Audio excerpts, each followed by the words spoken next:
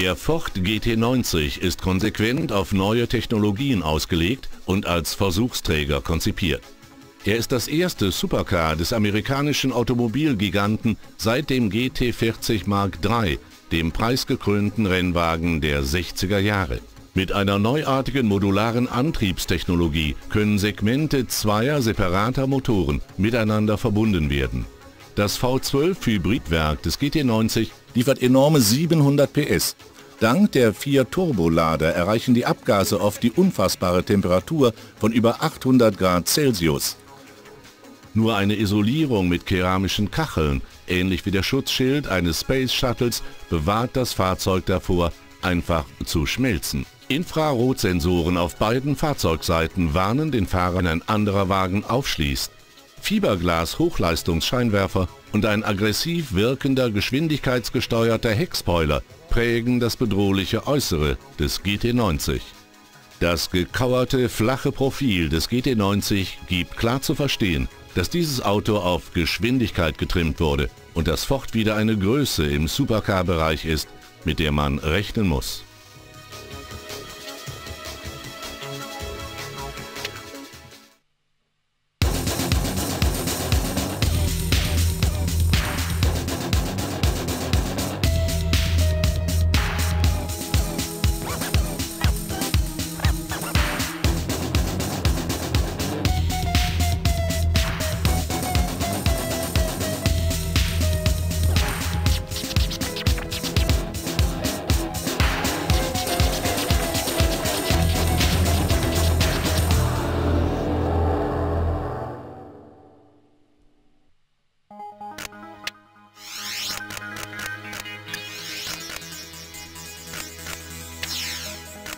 Die Idee hinter dem Ford Indigo war, das Fahrvergnügen einer Rennstrecke auf die Straße zu übertragen.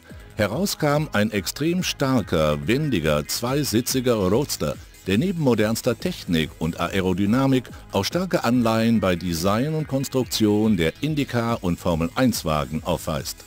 Mithilfe der englischen Firma Reynard Racing Cars wurde das Konzept des Indigo in nur sechs Monaten verwirklicht. Sein aufregendes Styling verrät ein aggressives Rennauto mit exzellenten Sportwageneigenschaften. Die auffälligen am Spiegel montierten Fiberglas-Scheinwerfer für noch bessere Sicht bei Nacht und die Flügeltüren öffnen sich nach oben, damit der Fahrer ungehindert in das Fahrzeug hinuntersteigen kann. Das schwarze Ledercockpit ist auf Fahrkomfort ausgelegt macht aber auch Anleihen bei der Formel 1, wie die Schaltknöpfe auf dem Lenkrad, die Vierpunkt-Renngurte oder die rennmäßig gestylten Instrumentenanzeigen verraten. Als Antrieb kauert im Heck des Indigo ein speziell für diesen Wagen entworfener V12 mit 435 PS, der schon 1000 Umdrehungen pro Minute erstaunliche 75% des maximalen Drehmoments bereitstellt. Mit seiner schlanken, aggressiven Kontur hat der Ford Indigo das Zeug zu einem Klassiker.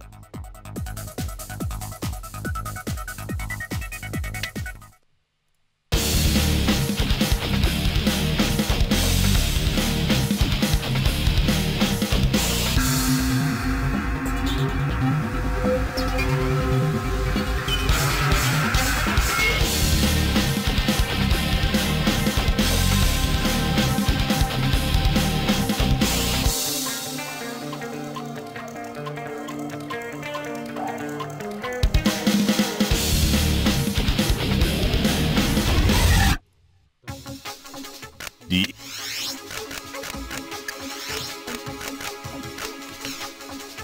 Ford entwickelte den aufsehenerregenden Mach 3 als rasanten Roadster in fantastischem Design, packte jede Menge Power unter die Motorhaube und gab ihm einen verheißungsvollen Namen.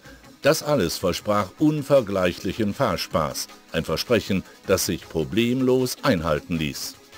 Das Design des futuristischen Mach 3 ist angelehnt an das der Mustangs aus der Vergangenheit, inklusive des Original 1964 Ponica. Und wenn Sie genau hinsehen, werden Sie kleine Hinweise auf das Mustang-Erbe entdecken. Den offenen Kühlergrill, die Heckleuchten, die Luftschlitze und das Lenkrad. Aber alles andere an diesem Traumauto stammt aus den 90ern und ist ultramodern. Die Konstruktion aus dem Hochleistungswerkstoff Kohlefaser und die Windschutzscheibe erinnern mehr an einen Düsenjet als an ein klassisches Auto. Der Mach 3 besitzt einen Hybridantrieb und kann somit entweder mit Benzin oder mit M85, einem Gemisch aus 85% Methanol und 15% unverbleitem Benzin oder mit einer beliebigen anderen Mischung der beiden Komponenten betrieben werden. Die modellierte Linienführung unterstreicht das top-aktuelle Aussehen dieses Traumwagens. Ein Mustang wäre kein Mustang ohne einen extrem leistungsstarken Motor und das gilt auch für den Mach 3. Die optimale Motorenleistung wird durch einen Bordcomputer gesteuert. 6 Liter V8-Maschine mit vier Nockenwellen und Turbolader Intercooler holt aus dem Boliden solide 450 PS über ein Kaltstrom-Ansaugrohr heraus. Steigen Sie ein und bringen Sie das Traumauto in weniger als 5 Sekunden auf 100 Stundenkilometer. Und bereits heute werden Elemente des Ponycars als Konzept für die aktuelle Mustang-Reihe aufgenommen. Werden wir eines Tages vielleicht doch einen Mustang mit einer Kohlefaserkonstruktion sehen? Das ist mehr als wahrscheinlich, wo wir der Jahrtausendwende nähern.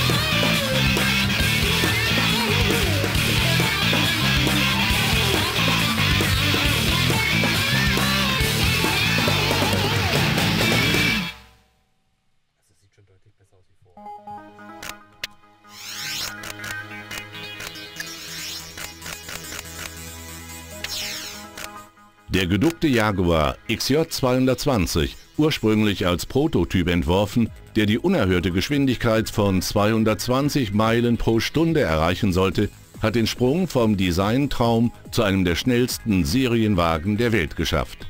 Das bildschöne aerodynamische Styling des XJ20 ist deutlich inspiriert durch so legendäre Jaguar-Klassiker wie die C- und D-Types, den seltenen XJ13 und den berühmten XKE.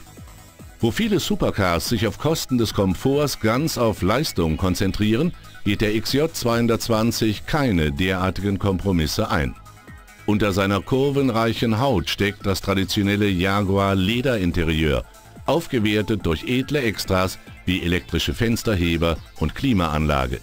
Der fauchende 542 PS V6 Motor des XJ 220 geht auf den JV6 Twin Turbo Rennmotor zurück und ermöglicht der Raubkatze den Sprung von 0 auf 100 in weniger als 4 Sekunden.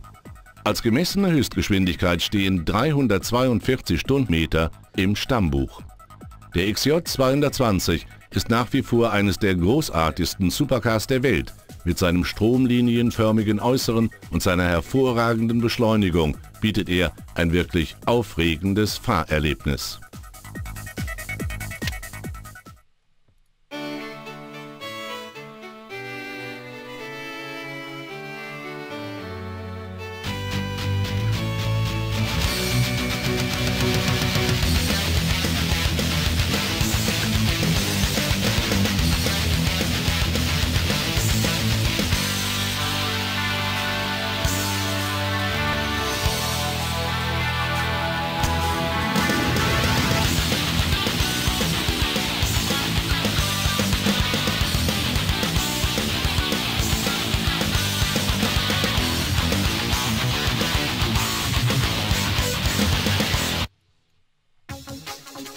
Der Gedu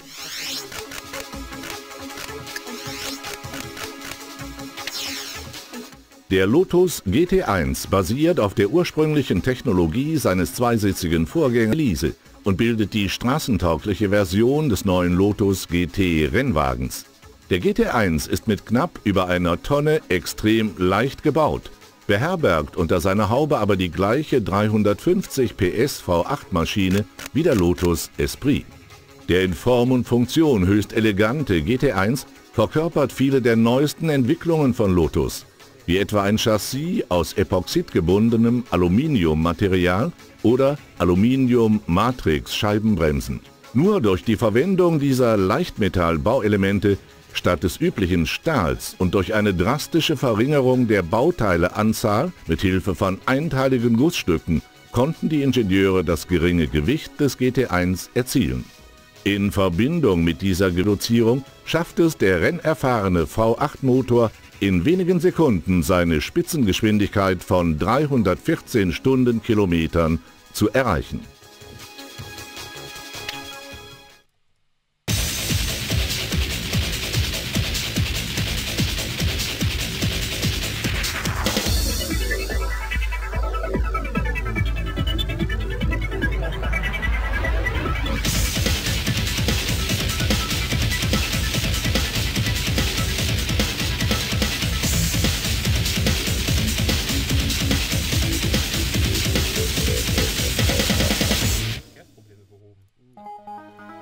Der Lotus GT1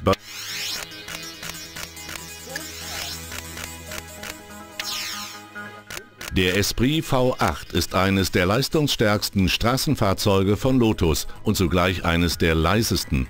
Als zweisitziges Evolutionsmodell des 1975 in Paris vorgestellten Esprit wird der V8 von einem neuen, kompakten, aber trotzdem bärenstarken 350 PS Motor angetrieben der erstaunlicherweise nur ebenso viel Platz einnimmt wie die früheren Vierzylinder-Triebwerke von Lotus.